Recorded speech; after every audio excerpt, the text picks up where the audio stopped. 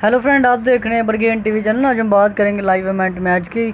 तो मुस्तफ़ा वर्सेस रिको का हमको मैच देखने को मिला, जिसमें रिको ने भी काफ़ी अच्छे मूव लगाए, बात की जाए तो मुस्तफ़ा की। तो मुस्तफ़ा की भी कमाल की परफॉर्मेंस हमको लाइव इवेंट में देखने को मिली। तो मुस्तफ़ा अपना कब रिटर्न करने वाले हैं रो पर, ये हमको ज़रूर देखने को मिलेगा। मुस्तफ़ा कब तक रहेंगे लाइव इवेंट में, ये तो हमको अगले रो में ही पता चलेगा। तो मुस्तफ़ा जल्द ही रिटर्न करने लगे हैं। रो पर और मुस्तफ़ा का हमको एक मैच बड़ा देखने को मिल सकता है। तो मुस्तफ़ा जल्द ही करेंगे रो रो पर रिटर्न करेंगे मुस्तफ़ा जल्द ही। और बात की जाए तो मुस्तफ़ा की तो मुस्तफ़ा की हमको जल्द ही एंट्री देखने को मिल सकती है रो पर। तो बात की जाए तो ब्रोक लेसनर की तो र्यूमर्स यही आ रहे हैं कि ब्रोक लेसनर अपना रिटर्न करने वाले हैं रो पर।